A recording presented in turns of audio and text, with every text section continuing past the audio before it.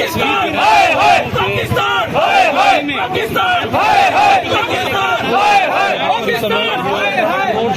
देखिए, जिस प्रकार से दिल दहलाने वाली घटना जो है, कल राजौरी के अंदर रात को नौ बजे हुई। एक परिवार में ग्रेनेड अटैक हुआ और उनके आठ लोग जो हैं गंभीर रूप से घायल हुए।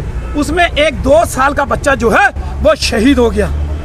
वो बच्चा जो अपने माँ बाप की गोद के अलावा कुछ नहीं जानता था, अपने परिवार के बाहर उसकी दुनिया को कोई कुछ पता नहीं था।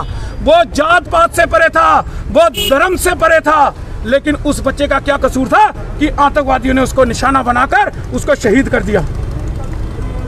कब तक हम इसी प्रकार से पाकिस्तान के झंडे फूकते रहेंगे, पाकिस्तान के पुतले फूकते रहेंगे? हम पूछना चाहते हैं केंद्र सरकार से।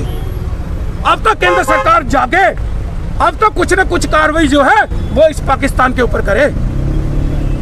लगातार पाकिस्तान अपनी नापाक हरकतें इस जम्मू कश्मीर के अंदर कर रहा है।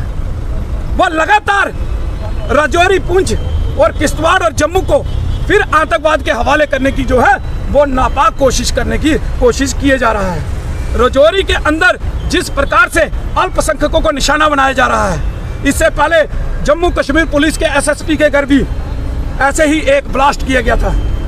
उसके बाद एक ब्लास्ट और किया गया सरपंच के घर में।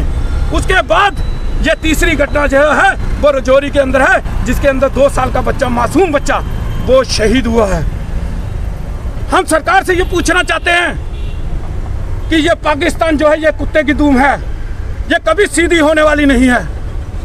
इसको जूते की भाषा ये हमेशा समझता है। जितनी बार भारत ने इसको समझाया है, वो जूते मार मार के समझाया है। तो अब चाहिए इनको कि जल्द से जल्द इस पाकिस्तान के ऊपर कार्रवाई करके वहाँ से आतंकवादियों को खत्म किया जाए और इस पाकिस्तान को भी सबक सिखाया जाए। यही आज हम केंद्र सरकार से जो है वो मांग कर रहे हैं।